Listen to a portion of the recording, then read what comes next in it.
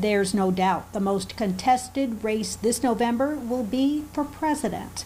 But the very next race on the ballot for Texans is also getting a lot of attention the race for U.S. Senate. We still don't know who will face off with Republican Senator John Cornyn, but one thing history has shown defeating him won't come easy. Here's political anchor Ashley Goudeau.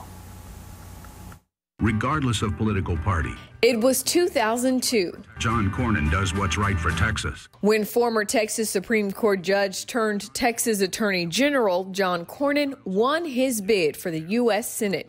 18 years later, he's serving his third term in office and is vying for his fourth. I want to thank all of uh, all of my supporters across Texas for nominating me to be your United States Senate candidate for the Republican Party in 2020.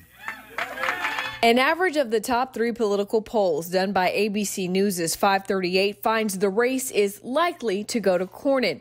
That's a drop from earlier this year when Cornyn's seat was considered solid Republican on this widely used polling scale.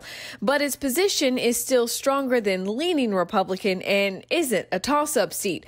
Plus, history is on Cornyn's side. The solid blue state of Texas started to shift red in the 1970s. In the 1980s, presidential candidate Ronald Reagan pushed the needle. He campaigned very hard in East Texas and told those people they can be Reagan Democrats. Be a Democrat, but come vote for Ronald Reagan. And they did and they stayed there. In 1993, Republican Kay Bailey Hutchison ended a 150 year streak of having at least one Democrat represent Texas in the U.S. Senate when she defeated Democratic Senator Bob Krueger. And Democrats have not won a statewide election in Texas since 1994.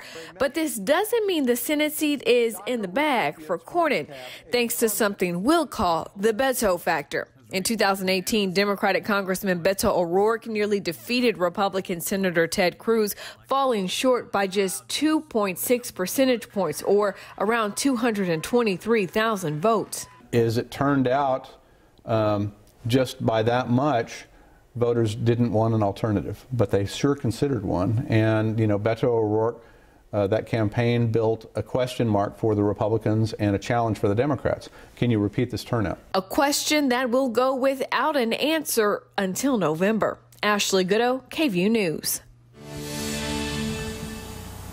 The two Democrats hoping to disrupt the Republican hold on Texas are going head to head in a debate, and you can watch it live right here on KVUE Monday at 6:30.